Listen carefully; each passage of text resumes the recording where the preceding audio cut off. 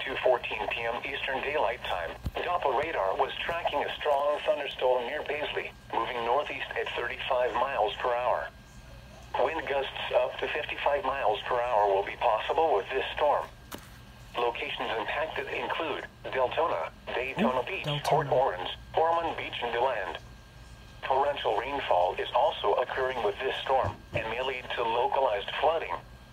Do not drive your vehicle through flooded roadways. Outlook is for East Central Florida.